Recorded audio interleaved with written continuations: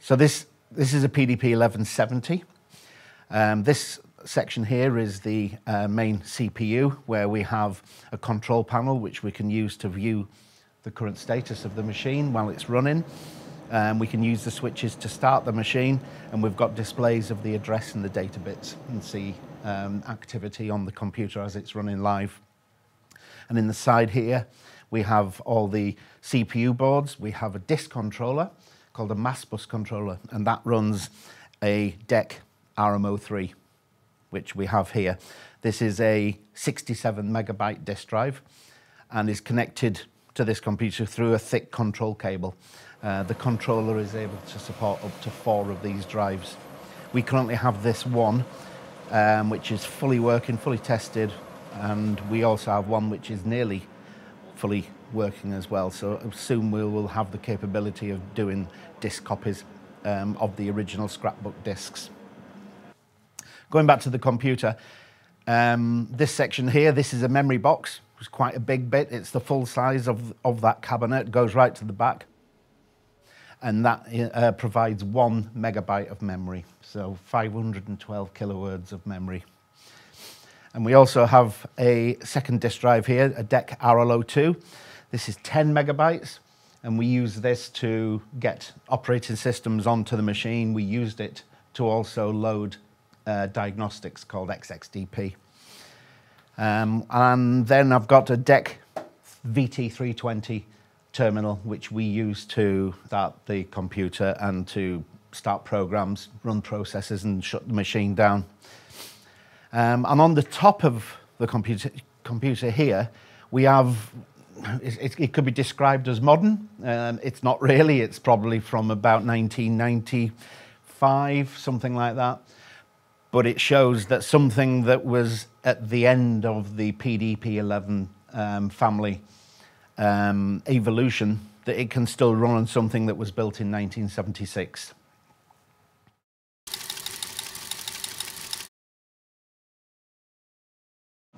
Okay guys, so I'm going to show you uh, the PDP 1170 booting. What we do is we initially boot from this drive and then we'll ultimately boot from the second drive. The reason being the second drive has newer software on, but we don't have the firmware in the machine at the moment to properly boot that drive. So it's a two-stage process. So what we'll start with first of all is we'll power on the PDP.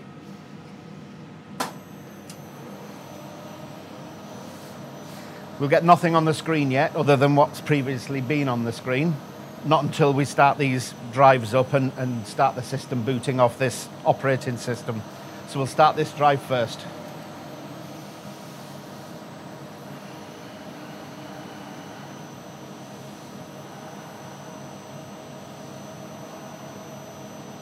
Okay, so that drive's now come live. And what we do is we load a start address on the console to start the microcode that then boots this disk drive. So I'm halting the computer and I'm loading the address which is 177730006. So each set of three is a code from zero to seven. Uh, PDP's working octal. So now I'm going to load the address and start.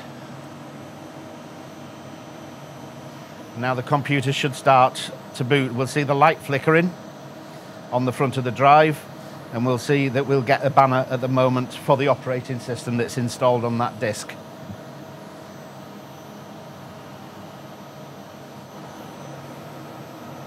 And there we go. So that's now booted uh, an, operating, an operating system called RSTS. This has got RSTS 9.6 quite, well, all, everything here is an old operating system, but that's quite old. It doesn't have year 2000 support. So what I'll do first of all is put the date and time in.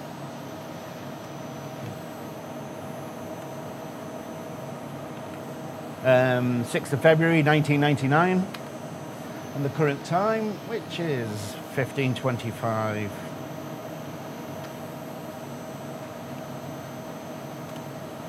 Okay, so now what I'm going to do is start this drive up, this second disk drive.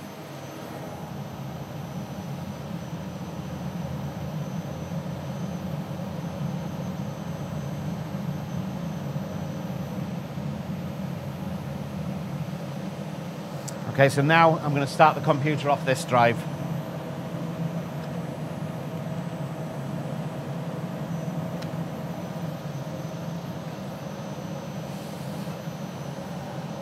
And we can hear the disk heads seeking within the disk pack to read data to be able to start the computer.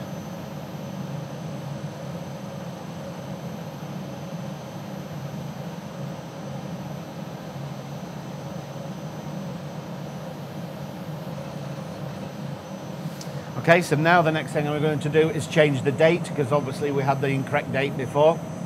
So I'm going to change the date to um, 06-FEB-22 leave the time as it is. The next thing I'm going to do now is start the computer. So the, when it boots off the disk, it's in a single user mode and the PDP is able to support many simultaneous sessions on terminals such as this. So this is now starting the computer uh, to what's called time sharing, allows it to be in a multi-user, allows us to use uh, to run multiple jobs on there, such as tests or whatever the business applications are.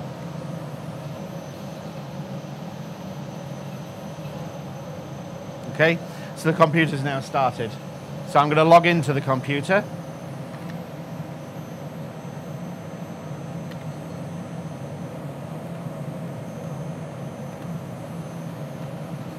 and we get a dollar prompt which shows that everything's up and running. So for instance, I can now run a test to test the disk drive, which you'll be able to hear on camera. So now we have the computer running, it's able to run multiple jobs at the same time. Uh, nothing's running at the moment. If I draw your attention to the front of the computer, you can see the uh, data lights is going round and round just in a, a pattern that shows that everything's running, but the computer's idle. It's not really got anything to do at the moment. So I'm going to start a few jobs running. You'll hear the disk drive uh, getting busy, and you'll also see the lights change. So I'm going to run the test.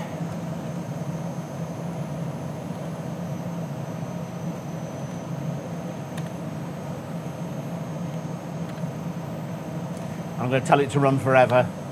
And what we're going to do is we're going to tell the job to run in the background. It's going to detach, which means now the job's running. But now I can log in again as another user or the same user in a different session.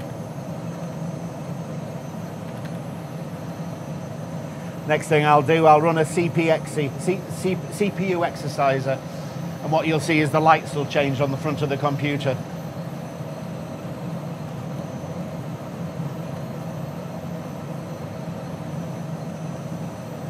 So now the lights changed on the front. They're much more, they look more static, but they, they have bursts where it's idle, but then they'll have bursts where it's very busy as well.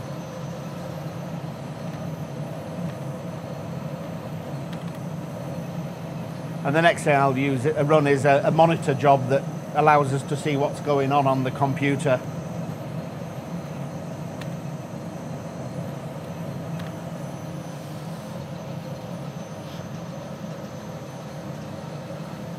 So that now allows us to uh, see what jobs have been set running, what the state are, what, what's actually happening with the job, shows you your disks, how many errors have occurred, and so on. So it's quite a nice single view to see what's happening on the computer at any one time and what the loads are.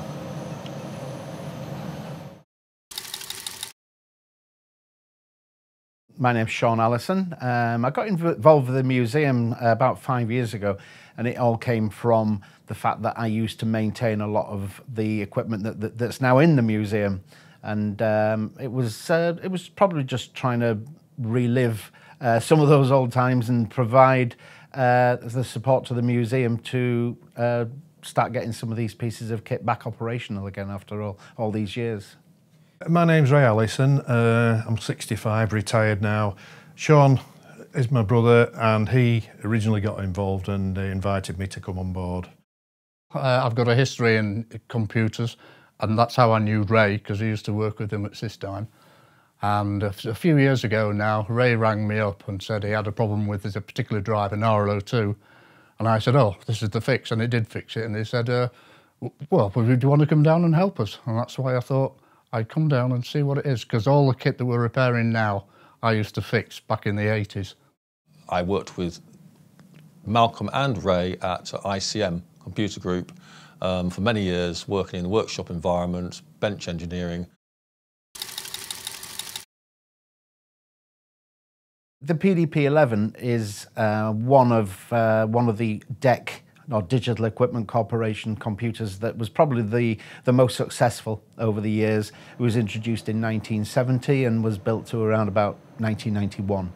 Um, the computer that we've got was built in around 1976 and was uh, at the time uh, the most powerful PDP that had been produced to date, or the most powerful PDP 11. They had 18 bit machines, 22 uh, bit machines, 16 bit machines. Um, as the machines grew and developed, uh, the power obviously increased. Uh, capacity of storage attached to the machines increased. So the PDP-11 is an architecture um, based on Unibus predominantly. So you have central processing system, but it always interconnects to a Unibus, which is where all the peripheral devices, disk tapes, controllers, printers, terminal devices are all connected into. We used to work professionally on those systems, mainly in the field. So, um, you know, we had various customers, different industries, retail, medical, um, steelworks, etc. This machine came from the National Physical Laboratory. Uh, it was a system called Scrapbook, and Scrapbook was a predecessor to the World Wide Web. So Tim Berners-Lee uh, invented the World Wide Web, but this computer was running similar technologies to what became the World Wide Web uh, several years before.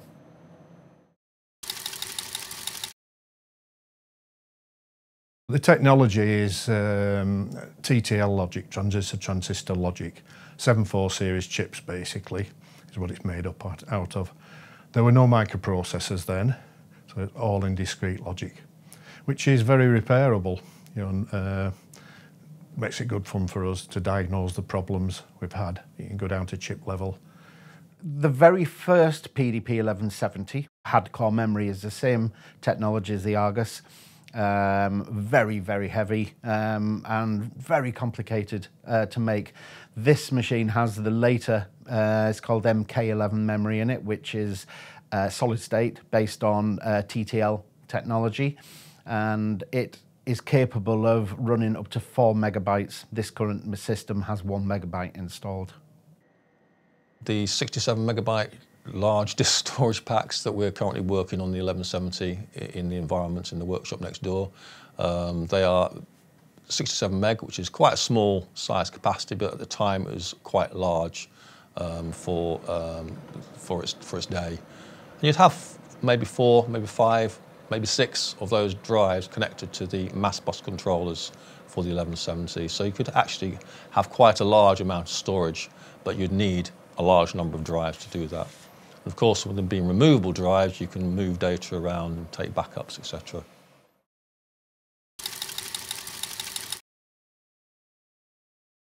The, one of the worst challenges we had was today, actually, not too long ago. We were building an RM03 storage drive and everything was going fine. Then we suddenly had a head crash, much to our dismay. There's the five platter discs. The top and the bottom are sort of protection platters, and the three inside are where the data is written. The pack spins at 3600 RPM, and when it's up to that speed, the heads come out on the voice coil and sit over the track. Uh, in comparison, the track distance from the actual platter is equivalent of a jumbo jet flying one inch above the ground. Very slow. And occasionally, if you get dust particles in, it, sort of uh, makes the airflow around the head wrong and it just bounces down and hits the uh, platter surface and that's called a head crash. And it's uh, as far as the disc is going, that's uh, it's wasted disc now. Got to throw it away. No use. The intermittent uh, problems are the worst ones because they, when you start uh, troubleshooting with the meter, oscilloscope, etc., the, the fault can go away. And so we've got through them with the process of you know cleaning edge connectors and uh, pins etc. So it, very often it's caused by corrosion on, on the edge connectors of the boards. There was one particular one which uh, this was a hard fault, hard on fault, which meant it didn't go away. It took a lot of finding. We had to go right down to component level and to put the oscilloscope on the back plane, etc., following signals, and we found uh, a signal from one board in the memory management uh, unit not appearing on another module in an adjacent slot. And uh, I couldn't see anything, but we compared a good backplane with the our one that had got the fault, and we found some continuity on the good one that wasn't there on the bad one. But no amount of checking the wires on the back uh, revealed the problem.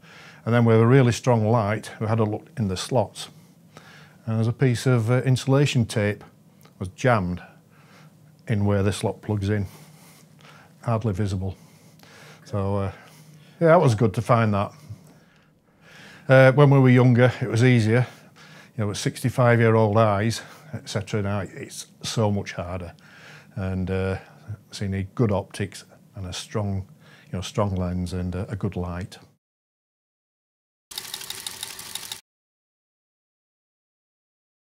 Spare parts is a bit of a challenge. Uh, we do have a spare PDP 1170 within the museum that we've used to take parts from to get this one up and running. That's the only um, source of parts that you have really. You have to unfortunately use other old vintage systems to be able to rebuild one. Spare availability is non-existent really. All the, even the components which are chips, it's not like today's where everything's stored in one chip. Uh, you have to find a board that you don't want and take the chip off that. And that's the only way you can fix things. Reading circuit diagrams, they themselves sort of prove difficult to find. But once you find them, you enjoy it. It's very, really good fun. I'm enjoying every minute of it, put it like that.